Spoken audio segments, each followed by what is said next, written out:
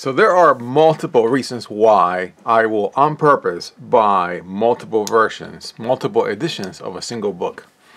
Uh, the main one is, what is the main one? Well, actually I have multiple ones. I'm not sure if I have a main one. So I'll give you the ones that I had for these four examples. Uh, I bought the uh, Niven and Zuckerman uh, number theory book as a pool book. This has been my pool book for 2022, meaning I put it in the bag when we go to the, our neighborhood pool and I read from it while I'm at the pool. Now this is a harder book, as I've mentioned in another video, the hardest book in number theory that I have. And so I liked it as a challenge. I'm in a relaxed state. I'm hanging out at the pool. I'm a nerd, so I love math. And so, yeah, this was my pool book for 2022. And as I also mentioned in another video, the difference between editions, uh, the, the later edition, which is the fifth one, and this one is the third one, is huge. It's basically a different book.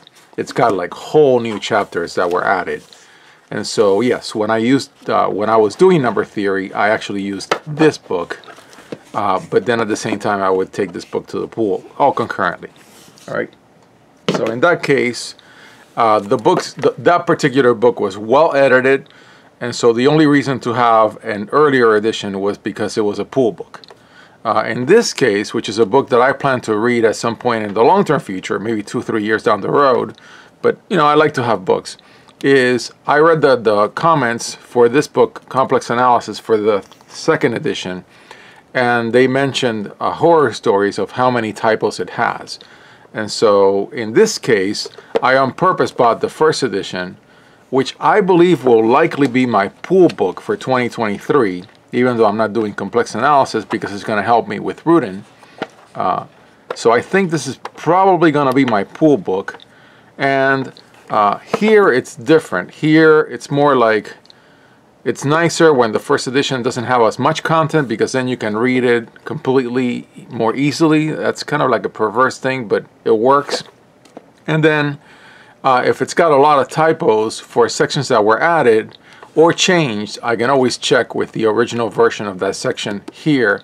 And this book only cost me 10 bucks. So it's not a big deal. And I think this was like a $40 book. So even the, the book that I plan to read from uh, is, is actually affordable.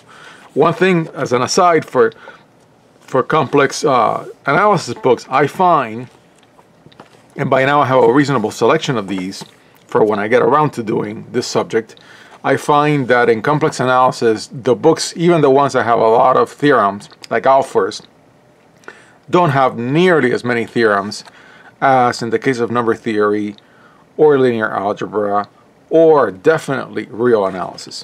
But having said that, yeah, so it looks like this will be my pool book uh, for 2023, unless I change my mind. I doubt I'll change my mind.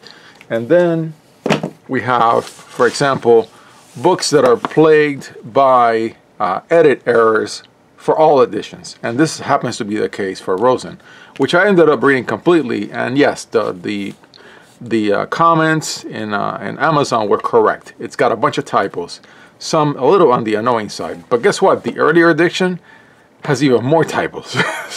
I mean, like quadratic reciprocity, they used the congruent symbol for the equality. It's like, what? It's not congruent. It should be, it should be equality. But yeah, in this case, this was not a pool book, but this book I would take uh, when I would go pick up my son and I would read it in the car. So it's nice to have a copy that you're not worried if you forget somewhere. I would take it on vacations. I as an obsessive compulsive person, make it a, a point of never to take the book that I'm actually going to read completely anywhere. It stays in the house. That's just me, because I'm me.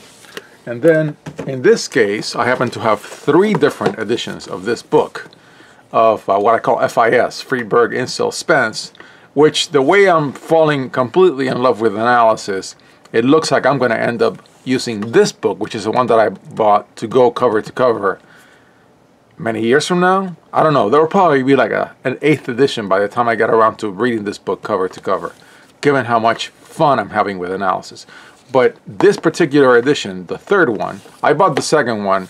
Again, I, I considered it becoming a pool book, which I believe it's a perfect candidate for a pool book. It's completely expandable. It can get wet. I don't really care. I even have a third edition and I have a fifth edition. This was an error. I was actually going to buy Lang, Lang's linear algebra book, which was uh, a, uh, a, a, a uh, Springer book. And they made a mistake and they sent me this one and I didn't even return it. I was like, you know what? I wouldn't mind having it. That's kind of cool.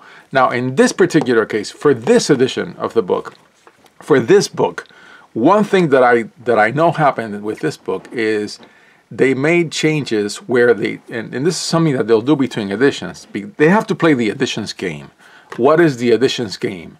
You publish a book, you have to keep adding editions because that's how you make your money as a publisher. Otherwise, nobody's gonna buy the book ever again. They bought they bought the second the first edition, it was great, they used it, it's over. When are you gonna sell the book again? You're not. And so what do you do? You keep adding editions. You keep making it better. In some cases, in some cases you actually make the book worse.